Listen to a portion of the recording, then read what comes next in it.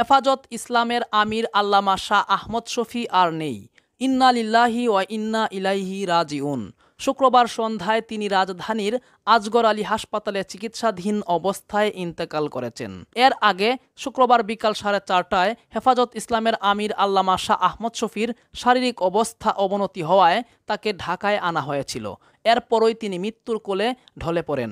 Chittagong medical college হাসপাতালের আইসিইউতে থাকা আল্লামা শফিকে এয়ার অ্যাম্বুলেন্সে শুক্রবার সন্ধ্যার আগে ঢাকায় এনে আজগর আলী হাসপাতালে ভর্তি করা হয়। উল্লেখ্য, প্রায় শতবর্ষী আল্লামা আহমদ শফি দীর্ঘদিন যাবৎ তিনি বার্ধক্যজনিত দুর্বলতার পাশাপাশি ডায়াবেটিস, উচ্চ রক্তচাপ ও শ্বাসকষ্টে ভুগছিলেন। ত্রিশ বছরের বেশি সময় ধরে হাটহাজারি মাদ্রাসার মুহতামিম বা প্রধানের দায়িত্ব পালন করে আসছেন আল্লামা শাহ আহমদ শফি।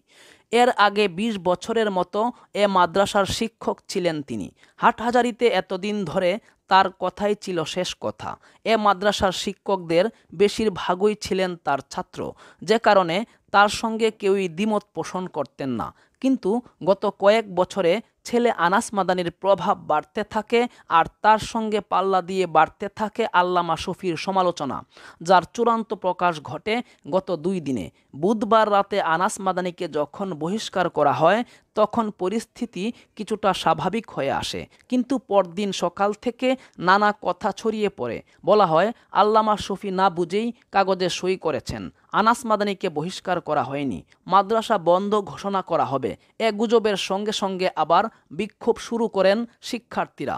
দিন গড়াতে থাকে, বাড়তে থাকে অনিশ্চয়তা। দিনের শেষ ভাগে মাদ্রাসা বন্ধ ঘোষণা করা হয়। যদিও আন্দোলনকারীরা এ সিদ্ধান্ত প্রত্যাখ্যান করেন। রাতে সুরার বৈঠকে পদত্যাগ করেন আল্লামা শফি। সাবস্ক্রাইব করুন নাম্বার ওয়ান নিউজ বিডি চ্যানেলকে আর বেল আইকনটি বাজিয়ে দিন।